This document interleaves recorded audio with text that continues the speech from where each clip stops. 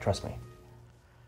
Hi, welcome to another edition of Between Two Ferns. My name is Zach Galifianakis. Um, my guest today is Justin Bieber.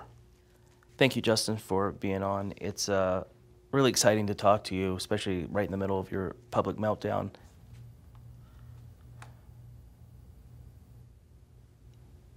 You gonna say anything? Yeah, I just have never interviewed a seven-year-old before, so. What was the last toy you got in a Happy Meal? I don't think I've ever ordered a Happy Meal. Yeah, me either. I don't like that junk. Are you sure? You know what I was doing when I was your age? Finishing fourth grade? Your young punk attitude is not going to work in this interview. You understand me, son? Okay. When you're in a concert, what are you thinking on stage? Sometimes I'm really like, damn, I wish I was watching Cops right now. Mm-hmm. Do you ever accidentally sing that instead of your lyrics? I wish I was watching Cops right now. No, usually, usually I'm just killing it. Is it fun to be cocky? When you're in the recording studio, do you ever think, um, "Hey, what if I don't make something shitty?" Does that ever does that pop into your mind in the in the process? Um, the fact that I am able to make music and inspire people, um, I feel like music is like a sixth sense. It's like that movie. You've had three hairstyles. What's next for your career? So you think that my hairstyles are the only thing that's happened in my career? Who are your celebrity friends? Who do you hang with? Mostly lately, um, Joy Behar, pretty much it. What's he like? Cool. You affectionately refer to your fans as beaners. N- no Beliebers. Yeah, that makes more sense. You said recently that Anne Frank could have been a Belieber.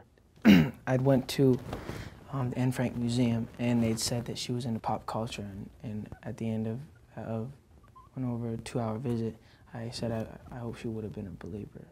Not. Did you mean that if the Nazis had not taken her and she lived to be in her 80s, she would have liked your music, presumably due to, you know, loss of hearing?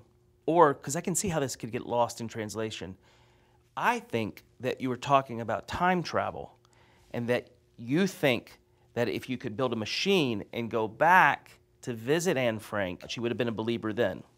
Is that, is that true? Because I don't know what to believe. I want to be a time traveler. You got caught on tape peeing into a, uh, a bucket. Here's the thing there hasn't been a time in the last six, seven years that I haven't urinated in a bucket. But I don't film it and put it on, on, on internets. You know what? I don't like your attitude, to be quite honest.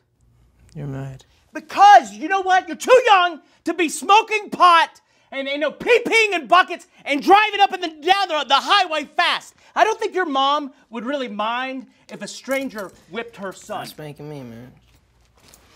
Ah, what are you doing? Ah, what are you doing? Woo!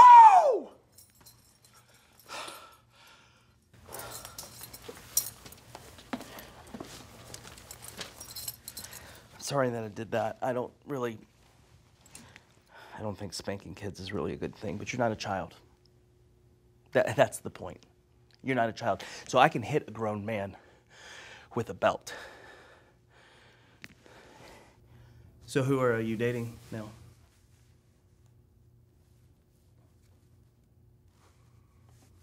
You ever uh, seen that Nickelodeon thing where the slime goes down?